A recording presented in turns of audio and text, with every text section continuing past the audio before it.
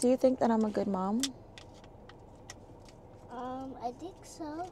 Do you think so? Do it for the love and I do it for the likes. Can't stop when we start, we gon' we gon' get it done. Start when we stop, we gon' we gon' get it done. Get it when we start, we gon' get it done. Start when we stop, we gon' we gon' get it done. We gon' we gon' get it.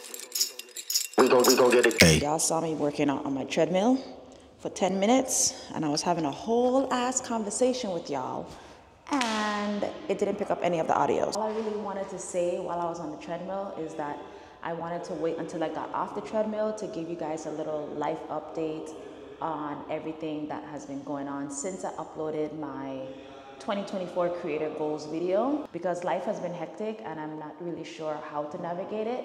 I got a little emotional, or I've been a little emotional lately, and I just feel like I need to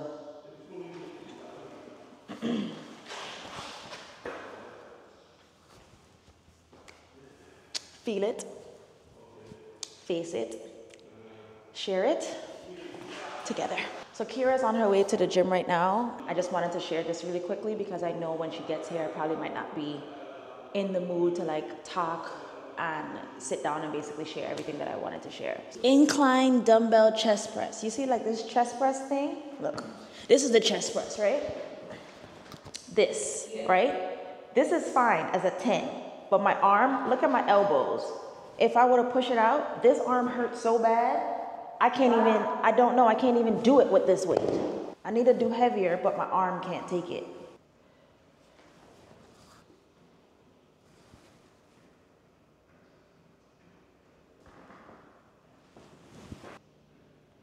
I was just blushing just now. Because I was here doing my workout, and then I look up, and all I see was Eddie and Amali. He walking? It looked like he was walking, because she was sleeping when I left. he just texted me, so um, I just stalked someone. Right now? Just then, and that's why I was like, "Are you? Were you coming in here? Or are you walking?" He's just walking, just walking with the body. That's so cute. Let's do some shoulder presses. I look skinty. It's flat. Your butt isn't flat. It's not what it was two weeks ago. So since I'm not really saying what I wanted to say in this video, I might end up doing it in the car before Eddie goes to work because I know I probably can't talk when the kids is at the house acting crazy. Just watch me work out for now. This is my decompress before I go upstairs and That's good. and deal with them kids. I told Eddie, I was like, this is the most I've screamed or yelled this the past two months Yeah. In six years of parenting. I just had a baby. My postpartum hormones are off balance. What you going to do to get them balanced? I don't know yet. I don't know yet. This morning I was perfectly fine. I was talking to them kids. Sage and Beige had this had their little thing going. He mad at her. She mad at him. Both of y'all figure that shit out. Give each other a hug or something. I said something like, you don't want to do that? Go chill in your room for a second. Now he's running. So we in the kitchen, you know the kitchen island. So I'm going this way, he going that way. So I'm fucking running around. You are not about to have me chasing you around this island right now. I've been talking to you very calm this entire time. I'm right now I'm getting frustrated, Sage. Get in your fucking I don't know if I said fucking. I said go in your room. Mind you, Eddie is in the bed, knocked out, sleeping. And I dragged this ass in the room and I put in the room and I closed the door and Eddie came out immediately. It was like talking to him. I get triggered so easy, and then when I explain it, it doesn't seem like that's something you should get triggered for. But in the moment, I get so mad. So when I'm trying to explain it to Eddie, it's like, okay. So what was the problem again? I was like, bitch, I don't fucking know anymore. I don't know what the problem was. Let's see if your girl can do a push up.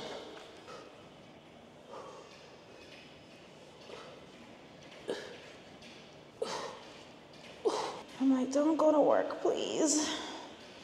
Don't leave me home with them, please. All these kids just outside.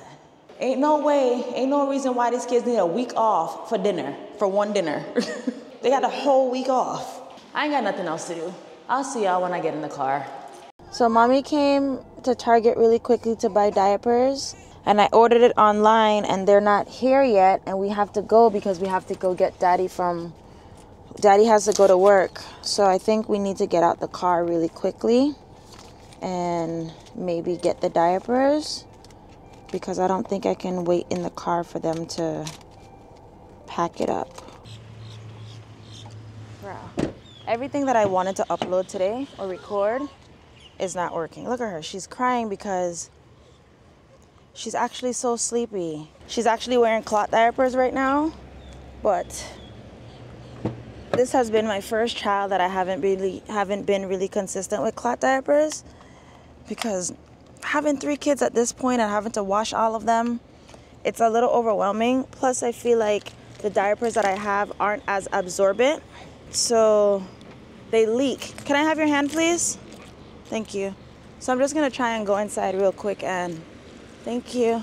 Go inside real quick and pick up the diapers so I can rush home. And the thing is, now this target is huge. Now I have to do what I didn't want to do, which is go and find it while I have no time to be walking around this store. Life is lifing right now, y'all. I just checked my um my order date of when I ordered diapers last time. It's been exactly three weeks since I bought diapers last time. And if I were to use regular cloth diapers, there's never, there was never a chance that I needed to spend so much money. I prep, that's practically $50 a month. That don't make no sense, bro. So I came to buy size one, and I think they said they only had one in stock. So if they had already picked it up, I'd be pissed because right now, as you can see, I don't see near size one here. Millie Moon diapers, size three, size four. Did they pick it up already, bro? Let me check my phone and see if they processed the order. It still says processing. What am I doing wrong right now? What am I doing wrong? We gotta go back. So I had to wait all the time. Maybe they have it at the counter. Excuse me, I have a question. So if they already pulled it, where would I go? Because it's still processing. So where should I How go? long did you order it? Um, like 45 minutes ago. What kind of diaper was it? It was Millie Moon. It was just size one. Let me just check see. Okay, thank you. I think this is it. There's like a box of diapers right there. And I'm just trying to see if that is what I'm looking for. Is it that at the bottom? That's how I was looking at it. I'm like, it's size one. And I'm like, I don't know if it's mine. Nobody said they had it in the cart. Yeah. Is it a size one? size one. Yeah, because that's exactly what I was looking for. So um, how do I clear so it doesn't look like just purchase it and can cancel that. I just cancel it? I think you can just cancel that if it's not in Okay, let's see. Thank you so much. You as well. Thank you so much. You as well. Glad you got it. Thank you. Come on, baby girl. Having these cloth diapers, it's very hard because the difference between the cloth diapers and the disposable diapers is that disposable diapers are way more absorbent, so you don't have to change your baby as often.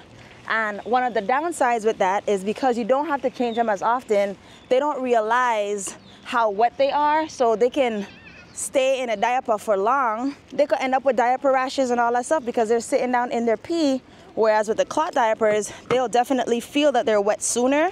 So you have to change them more often. Currently, when the baby's sleeping, I don't change her after I put her to bed. So I already know that if I were to have these cloth diapers, I would have to be waking up more in the night to change her due to the fact that she's either gonna leak through the diapers and wet the bed or um, she's just gonna feel uncomfortable and just wake up naturally. Because right now, even holding her in my hand, I can feel her butt wet. And you don't get rest because if you feeling wet, of course, you're gonna wake up because it's like, change me please. I'm just torn between my love of my eco-friendly diapers and not having to damage the environment and saving money but right now, it's been very hard to live that lifestyle when I have three kids that's needing me, depending on me, and I have to do laundry and do all of that stuff. So I understand the convenience of having a disposable diaper. With me trying to navigate everything right now, I'm trying to make life as simple as possible. Because to be honest with y'all, this postpartum journey, as much as I said it's been an easy transition, it's hard right now. Now that I don't have my husband home all the time or my mom here. So I'm just trying to navigate the best that I can, make do with my time, still prioritize my fitness. Like I'm always in the gym still. So I'm glad that I started working out because I can still like find time for myself that way. But when I have all these hours home with these kids, sometimes I feel like I'm going insane. my main thing that I wanted to cover in this video, and it's crazy because I still haven't talked about it yet, was the goals that I set for myself as a creator. I was going to say, what I said, it don't mean shit now. Because, baby, I felt like I bit off more than I can chew. And it sounded good in the grand scheme of everything. Like, I love to plan and write things down and set my goals, but it's not often that I achieve my goals in the deadline that I set for myself because I always feel like I need to be doing more when really and truly I just need to kiss keep it simple, stupid. If you haven't seen the 2024 creator goal video, I'll link it below and I'll put it in the eye. Although I know that my goals are a little bit skewed and a little bit um, not really realistic for my lifestyle in the moment. So I just wanted to give a brief update on where I'm currently at. I remember saying that I want to be consistent with our podcast, my husband and I's podcast, which is a vulnerable mom and dad podcast.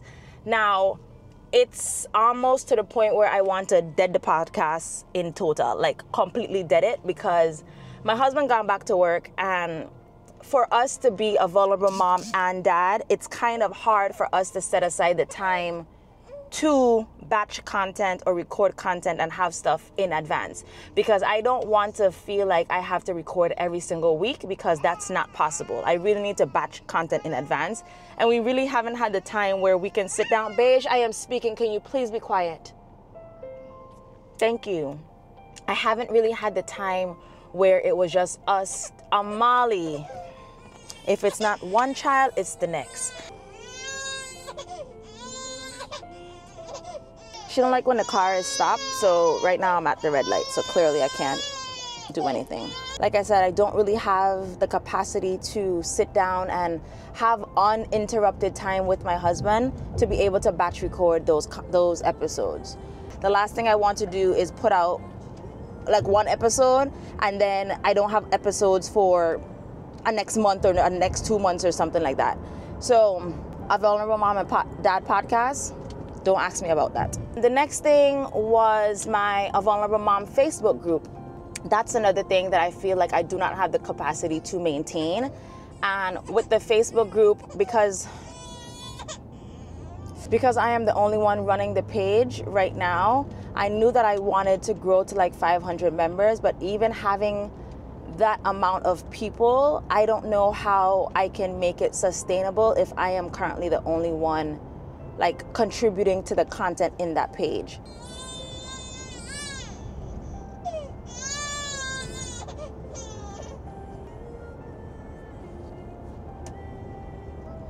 Yes. I don't know. I'm just a little I'm getting a little frustrated and I'm getting a little overwhelmed because I was trying to talk and when I was talking you were talking and then when I was talking then Amali was crying and then I know that I have to rush to get home because daddy has to get to work. And then I know that I have to be home with you guys all the way till midnight tonight. And it's just a lot for mommy to handle right now. And I don't know if I can handle everything by myself. So I'm just feeling a little overwhelmed and sad at the same time. I was crying a little bit, yeah. Daddy cries very quiet.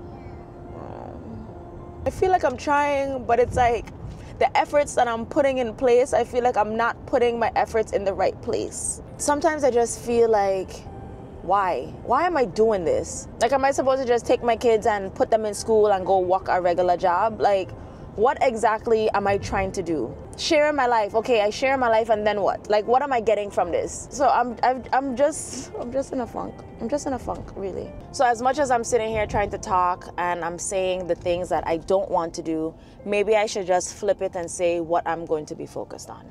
Even saying that, it's like I say I'm going to be focused on something, and then I don't end up doing it. And I hate when I put my words out there and then I don't hold true with the things that I said I'm going to do, then it feels like I am failing. And although failure is never something that I am afraid of because I failed multiple times before, but I also know that following through and completing things has always been my problem. And I think one of the biggest things is that I would say things and I'm not following through to completion because I overwhelm myself and I don't focus on just one thing at a time. Why do I feel like I need to be doing the most? So I think the only things that I really want to focus on currently is my Patreon account and my YouTube channel. I'm really just trying to figure it out, y'all. Let me actually call Eddie to make sure he's not sleeping because when I told him I have beige with me, he didn't answer to that. So let's hope that he's awake. I just want to make sure you're not sleeping. I have set uh, an alarm on the HomePod. Why is your drawers down? Check my phone. Huh? Why is your drawers down? All right, I just parked the car so you can walk down with Sage or something so I can walk back up. I don't know. You can actually subscribe to my Patreon. I do have a special running for the rest of November and I may extend it to December. Who knows? Um, so you get 50% off for your first month off of any of my tiers. So any of the monthly membership, any of the annual memberships, you can get 50% off and I actually leave the code below.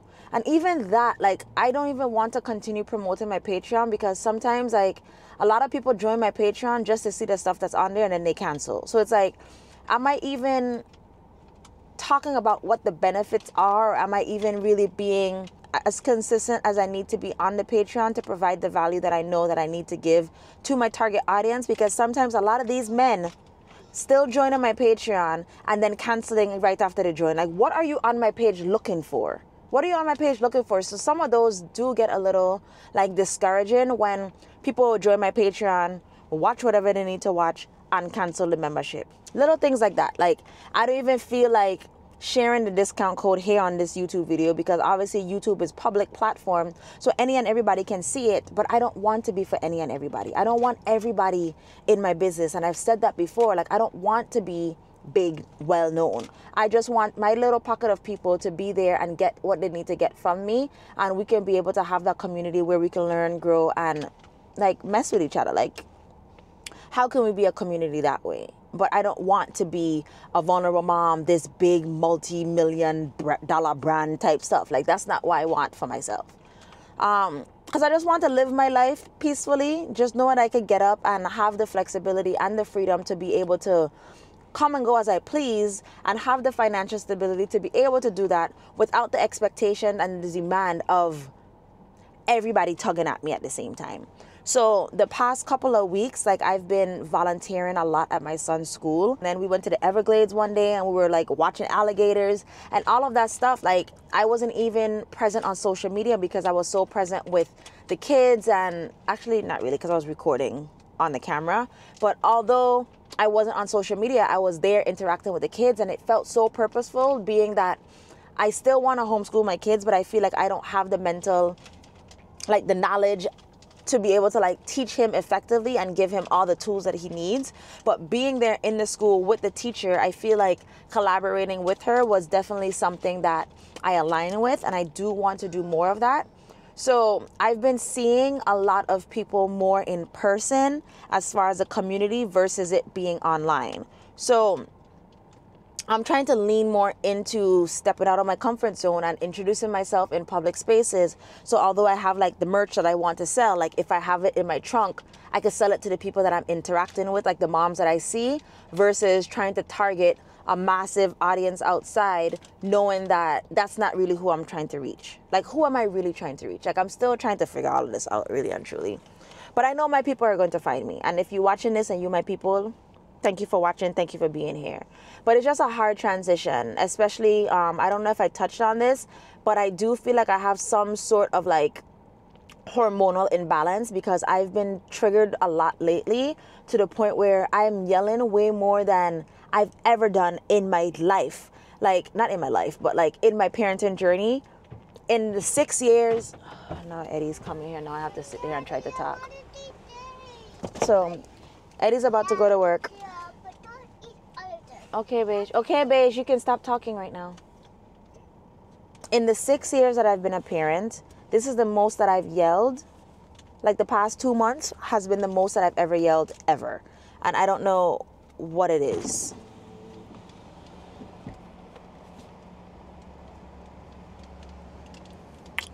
I love you. I love you too. Have a good day. Try. Hmm? knowing that I'm really like passionate about parenting, it's hard to try to create content around like positive discipline or parenting or what I've been doing to like manage tantrums or like how I'm navigating that. But at the end of it all, at the core of who I am, I'm still a vulnerable mom. So I shouldn't have to wait until everything is perfectly good and curated for me to feel like I can just share my story. Because at the end of the day, can you please stop that noise back there? I'm trying to speak. So you see stuff like that, like I get I get annoyed so easily. Sage, Yes. how are you? Can I ask you a question? Yes. Sit down. That's the question. No, sit down is not a question. Do you think that I'm a good mom? Um, I think so. Do you think so? How do you feel about me being your mom?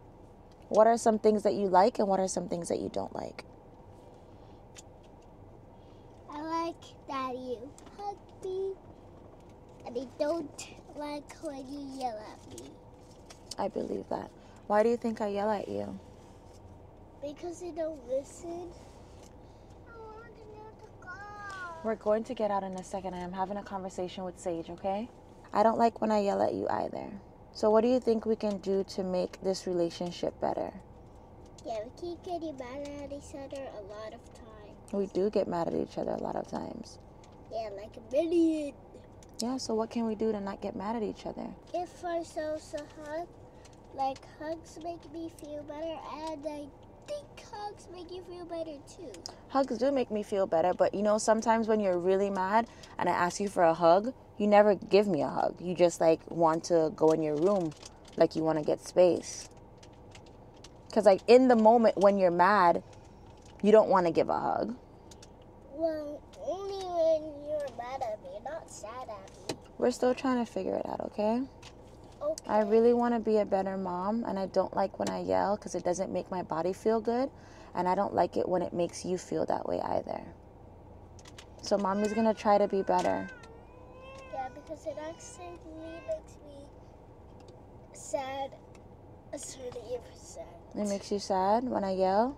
Yeah. So, how can you try to listen more? Is it hard for you to listen? Yes. Is there anything you want to say? I love you guys. Say subscribe to my mommy's channel. Subscribe and like to my mommy's channel. Thank you guys. And comment if you like mommy's channel. Just going to end like and subscribe. So I'm going to end this part and take all the kids upstairs because they're clearly ready to go upstairs. But I wonder, and I'm not sure if I really gave the update that I really needed to give, but I'm hoping that I can compile this and make it make sense. So stay tuned for the next video.